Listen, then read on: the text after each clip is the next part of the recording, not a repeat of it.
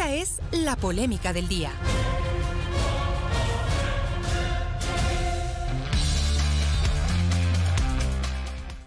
Bueno, y la polémica de hoy se titula Construye fuera del acuerdo legislativo y será oposición. Así como les dice Chimi. Pongamos la portada, mi querido Fer, para quienes siguen la señal de video. Aquí empezamos ya con el tema polémico y esta es la portada para el día de hoy. Un par de llorones. Ahí le podemos apreciar a Patricio Carrillo y María Paula Romo. Llorarán un río. Con un mar de lágrimas porque se quedaron fuera del acuerdo legislativo, ¿no? Sí. Ahora van a hacer la oposición, dijeron. ¿no? Se les nota que no querían quedarse fuera de los acuerdos, se les nota bastante. Pensaron que ellos eh, venían con, super, con superpoderes, ¿no? Para resolver el tema de las mayorías. Yo tengo los votos, yo tengo los votos. Toma tus votos. Así es, queridos amigos, porque este viernes se instala la nueva Asamblea Nacional y ya se cocina un acuerdo entre los tres bloques más grandes para elegir a las nuevas autoridades legislativas. Estos bloques son la Revolución Ciudadana, 1, el Partido Social Cristiano 2 y el Movimiento ADN del presidente electo Daniel Novoa, que se unieron para conformar ya una mayoría. Los tres bloques suman 79 votos. 51 corresponden a la Revolución Ciudadana, eran 52, pero se salió Ferdinand Álvarez, ¿no? Sí. Ya, entonces... Eh, la pero ha dicho que va a votar, perdón, dicho que va a votar, vamos a ver. Cada vez bueno, lo más en todo caso, le ponemos 51 de la Revolución Ciudadana, 14 eh, social cristianos y también son 14 de ADN. Ajá. Ya, esas cifras son importantes, porque para elegir a las nuevas dignidades se requieren estrictamente 70 votos, es decir, que hasta le sobran 9 votitos. 9 votitos, por si acaso, ¿no? El vuelto. Así es. Y el asambleísta electo social cristiano Henry Kronfle fue propuesto en consenso para ser elegido como el nuevo presidente de la Asamblea Nacional. Esto fue confirmado por la legisladora de la RC, Marcela Holguín. ¿no? Hasta el momento, la primera vicepresidencia le corresponderá a la Revolución Ciudadana y la segunda vicepresidencia, en cambio, a ADN. Y este acuerdo también incluye la integración, las presidencias de las 15 comisiones legislativas permanentes y del CAL. Bueno, tenemos la declaración de la asambleísta electa de la RC, Marcela Holguín. El uh, acuerdo está consolidado, es un acuerdo que nos va a permitir precisamente pensar en la posibilidad de trabajar en beneficio de las necesidades de la gente, que es lo que nos importa en este momento y es en lo que todos deberíamos concentrar. Con, con, con, esa, eh, con esa confirmación, entonces podemos entender de qué van a respaldar el nombre de Henry Kronfle. Es parte de lo que se acordó cómo quedaría el resto de la conformación de dignidades en la Asamblea. Correcto, nosotros vamos a respaldar el nombre de Henry Kronfle para que sea el próximo presidente de la Asamblea Nacional y de lo que tengo entendido eh, serán dos legisladores de la Revolución Ciudadana quienes también eh, ocupen uh, las dignidades del CAI. Ahora, ¿quiénes, ¿quiénes son, parte de la, del acuerdo? ¿Qué, qué organizaciones, además eh, de obviamente RC y, y ADN, la organización del presidente Novoa. Con ADN entonces llegaron al acuerdo para que sea Kronfle el presidente de la Asamblea Nacional. Sí, señor, con ADN, la Revolución Ciudadana. Ya. Ahí está entonces confirmado el acuerdo, ¿no? Eh, Revolución Ciudadana, ADN y Partido Social Cristiano. Bueno, tanta confirmación que dan del acuerdo que ahí es cuando más miedo se tiene que, que esto se caiga. Porque todos confirman y confirman y confirman como para creérselo ellos mismos, ¿no? ADN también confirmó el acuerdo con la Revolución Ciudadana y el PCC para elegir al mencionado Henry Confley como presidente de la Asamblea. Eh, sin embargo, también aclaró que este acuerdo, eh, bueno, de momento es solo para la eh, designación de autoridades y que no se va a incluir un juicio político a la fiscal general Diana Salazar. Tenemos Oh. eh, una declaración de la asambleísta electa de ADN, Valentina Centeno. Desde el primer momento hemos dicho que para nosotros es muy importante generar unidad, generar consenso desde los distintos movimientos políticos y bancadas en la Asamblea Nacional. Esto, por supuesto, no tiene nada que ver con nuestras líneas rojas que hemos dicho desde un principio estarán siempre en el marco de que no vamos a aceptar ningún tipo de corrupción, no vamos a aceptar tampoco eh, impunidad, repartos del Estado y también hemos dado nuestra postura sobre el juicio de la fiscal que no será apoyado desde la bancada del oficialismo. Sin embargo, por supuesto que necesitamos un acuerdo nacional en la Asamblea multipartidista en donde cada uno de los movimientos tengan representación y eso es lo que estamos buscando para que las leyes económicas urgentes de nuestro presidente Daniel Novoa puedan ser realidad. Él ya lo ha mencionado, tenemos dos leyes económicas urgentes que van a ser inmediatamente ingresadas en la Asamblea, la primera eh, en temas tributarios y la segunda en, una, eh, en materia energética para la autogeneración de...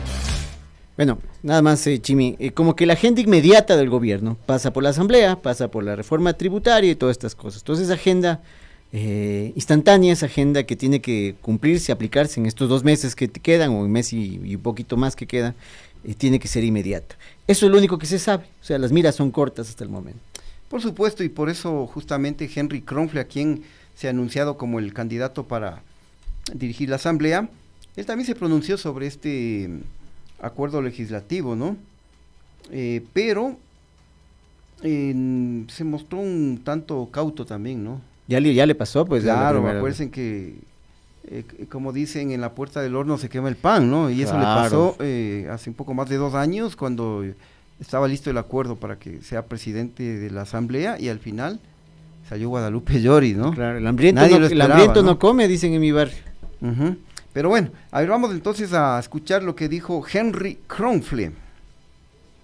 Eh, es importante dialogar, el país necesita diálogo, el país no quiere conflicto, el país quiere soluciones, no quiere problemas, quiere soluciones y eso es el primer gran acuerdo que tenemos, generar soluciones para todos los ecuatorianos, en materia de educación, en materia de salud, en materia de seguridad, que es sumamente importante, y en materia de generación de empleo, y por supuesto desde el punto de vista de la fiscalización, en materia de luchar contra la corrupción. Esos son los grandes acuerdos, llamémoslo así, en grandes rasgos. Otra cosa son los acuerdos en donde hay múltiples acuerdos, porque no se puede hablar de un acuerdo, para decidir y nombrar a las autoridades del Congreso. Pueden ser que grupos políticos voten por una autoridad, otros no, y en otros casos, durante las votaciones, otros grupos políticos voten y esos que votaron antes no voten. Entonces hay múltiples acuerdos. Pero lo principal que debe de conocer el país es que hay que fortalecer la base de la pirámide. Y la base de la pirámide es qué es lo que va a trabajar la Asamblea Nacional y cómo vamos a resolver los problemas de los ecuatorianos que son gravísimos. Eso es lo que nos interesa a todos. No, cuáles son, pero es un ratito. No, no, no quiénes son las autoridades. Las autoridades Bueno, vamos a ver si, esta, si en esta ocasión se le hace, ¿no?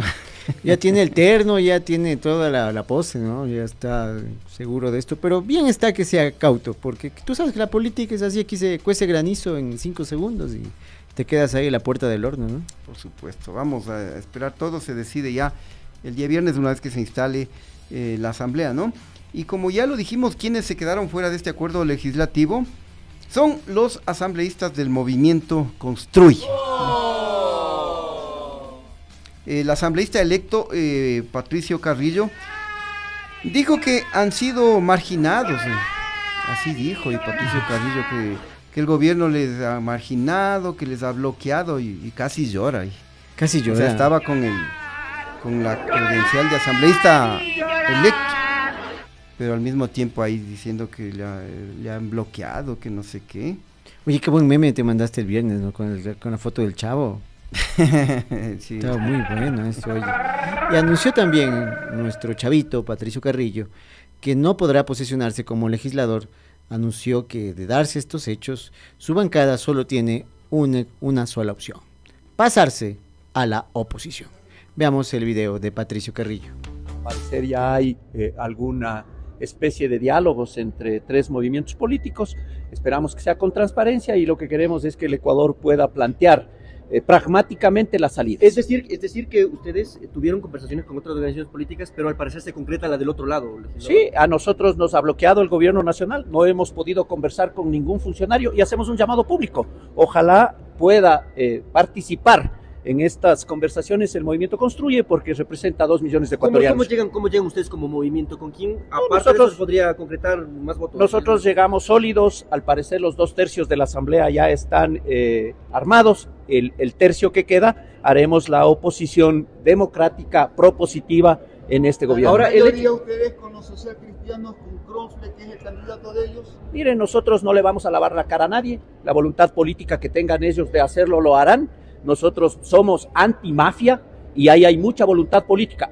Alrededor de algún partido político hay gente que estuvo involucrada en el atraco al Instituto de Seguridad Social de la Policía Nacional. Y si no hay voluntad de política de solucionarlo y quieren que quede en impunidad, pues eso el Ecuador lo conoce. Eh, como dicen, toma tu maqueño, a llorar en la llorería, ¿no? Porque, mm, bueno, ya, ya lo ha dicho claramente Patricio Carrillo, pasamos a ser oposición. ¿Y por qué no querrían hablar con construyes tan simpáticos que son? Sí, esa es la pregunta que eh, muchos se hacen. ¿Por qué Daniel Novoa no querrá, pues, eh, hacer acuerdos, de acercamientos con el movimiento de María Paula Romo? ¿Qué vería de malo? Bueno, según nos, nos han contado por ahí. Chismoso. el chismoso, en chiquis, en cortos, nos han cortado. Nos han contado, ¿no? Que Daniel Novoa no quiere saber nada de acercamientos con quienes repartieron, pues, hospitales a cambio de votos. Sería una cosa tan noble o demás, o le tendrá simplemente su distancia política. O sea, con esta persona no es mejor ni hablar de política. Puede ser también, ¿no? Sí, es que imagínate, eh, a ver, ¿qué hubiese pasado eh, si es que tú negocias, conversas con, con, con Construye? ¿Qué van a hacer? A ver, quiero tantos ministerios, tantos hospitales, eh, quiero embajadas, quiero, qué sé yo, ¿no? porque es un modus operandi. Ahora, quizás ese modus operandi no se revela de entrada. Y vos peor, pues, te, te, conformas más y crees que lo que te están diciendo. Y a mitad del juego, ahí te sacan las uñas. Y ya estás fregado porque ya estás lanzado y las cosas así. ¿Qué haces ahí? Entonces, realmente, si es que esto es así, si ven que este es un perfil político conflictivo, como el de María Paula Romo, mejor dejarla aislada. Así es.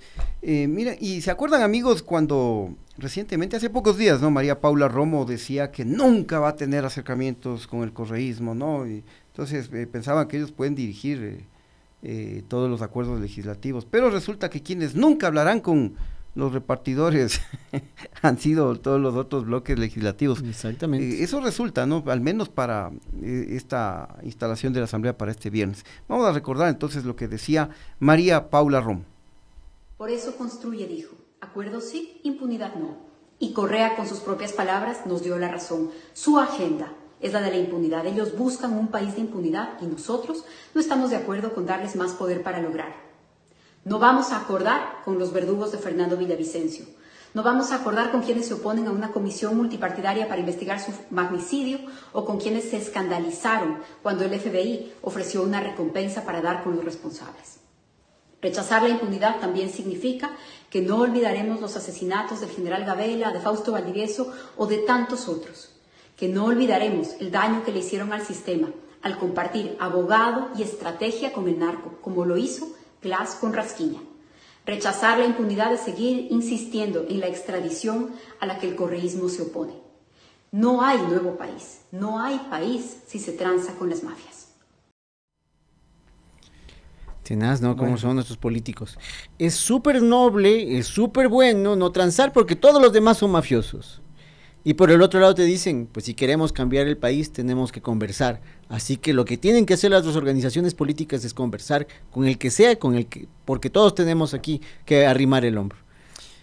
Sí, mira, ¿a quién le crees? Eh, sí, aquí hay mucho cinismo también, porque tú cómo puedes hablar de impunidad y cuando quedó en la impunidad, pues eh, todas eh, las personas que murieron durante esa brutal represión policial del el paro de octubre de 2019, ¿no? Cuando ya María Paula Romo fue ministra de gobierno. Claro. Y eso quedó ahí, quedó ahí. Entonces, eh, mira también la corrupción que hubo en el gobierno de Lenín Moreno, el, propio reparto de hospitales, acuérdate, este... Pedernales, Teodoro eh, Maldonado. Este asambleísta... Mendoza. Eh, Daniel Mendoza, ¿no? muy amigo de, de Lenin Moreno, de la propia María Paula Romo. Visitante de Carondelet. Sí, exactamente. Y, muchas otras cosas que hemos, eh, ya, lo, ya, lo, hemos expuesto en este espacio, ¿no? Acuérdate que María Paula Romo utilizó un, helicóptero de la policía para irse en un feriado eh, con su pareja, el entonces ministro de, Inclusión Económica y Social, Iván Granda, para irse en un feriado. Y hubo algunos abusos, algunas denuncias, ¿no? Y y ahora ella nos habla de impunidad. Claro. Y realmente con una figura transformada, con un rostro reconocible por la voz, por el gesto, pero también cambiado, lo que implica renovación, Porque en un momento de este video, como muchos de ustedes detectaron, es mi momento, ¿no? Gracias a estas movidas logré evitar que el correísmo asuma la presidencia. Y ahora me toca la presidencia de la Asamblea. Y ahora, finalmente, a pesar de todos los arreglos, a pesar del Botox y demás, finalmente parece que se queda sin los cargos. Así es, mira, y me acordaba también de su jefe, el jefe de María Paula Romo, el presidente Lenin Moreno. Eh, hasta ahora no ha pasado nada con los DINA Papers. Mira que él no se presentó eh, acá en el país porque hubo la disposición de que se presente cada cuatro meses y salió con que se ha enfermado, que no sé qué, que no sé cuánto, y esto se va dilatando. Caso DINA Papers quedará en nada. Claro. Entonces, Ahora eh, dicen que ellos no pactan con, quieren, con quienes quieren que haya impunidad.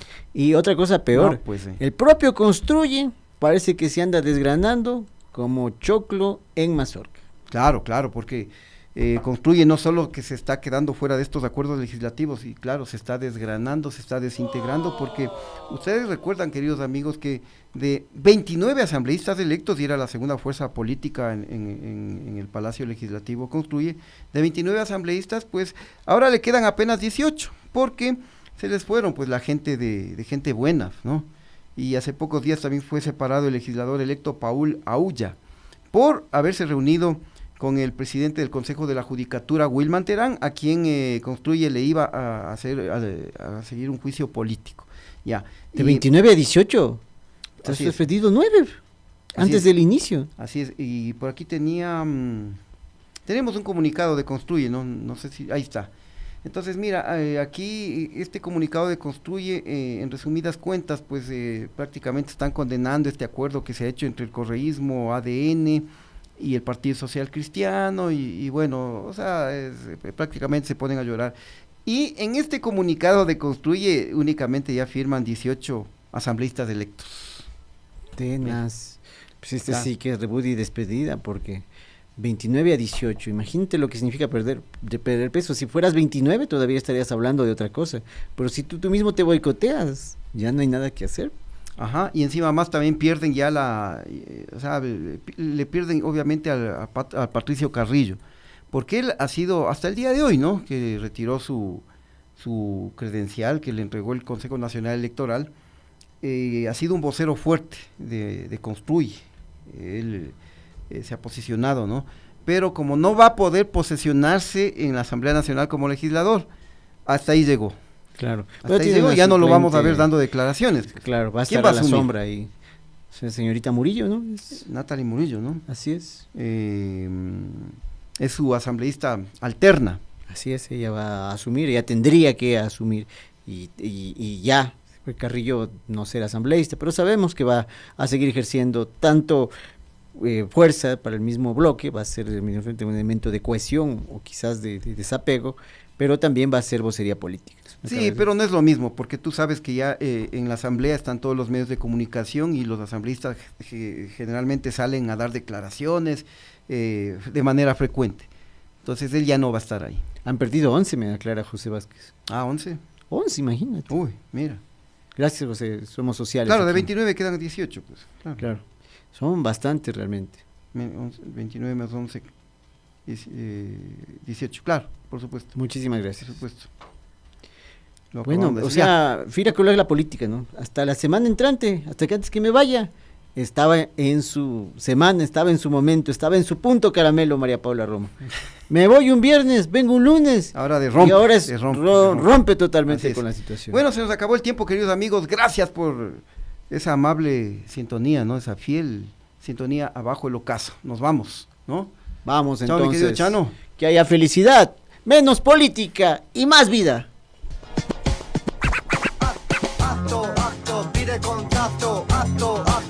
Pide contacto. Todas dicen que me ama. Acto, acto, pide contacto. Tacto, tacto.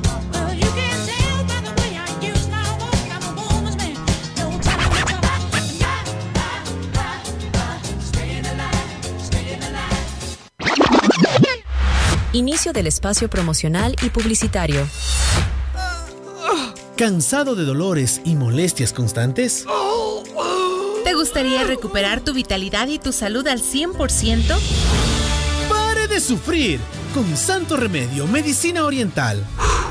Contamos con productos de alta calidad como nuestra loción Santo Remedio y loción Piel de Ángel, listos para cuidar tanto su salud como su piel, fabricados con plantas medicinales 100% naturales. Despídete de esos constantes dolores, de las alergias molestas o de las horribles cicatrices y comienza a vivir tu vida plenamente mientras proteges a tus seres queridos. Contáctanos para consultas y pedidos al 099-821-11 y síguenos en nuestras redes sociales como arroba Santo Remedio Ecuador para tener una vida feliz y saludable. Antes de que salga el sol, el gallito vuelve a cantar. Ahora su despertar es diferente, animado, con buena vibra y música para acompañar su día. Buenos días, Pichincha, Ecuador, Latinoamérica. Despiértate. Despierte con toda el alba, de lunes a viernes junto a Carlos Minango a las 5 de la mañana. Inicie la jornada con la dosis de energía para comenzar el día. Con toda el alba, por la 95.3 FM y 94.5 FM en el noroccidente de Pichincha. Fiesta Popular. Tucuicunapa Graimi. La fiesta, elemento esencial de la vida.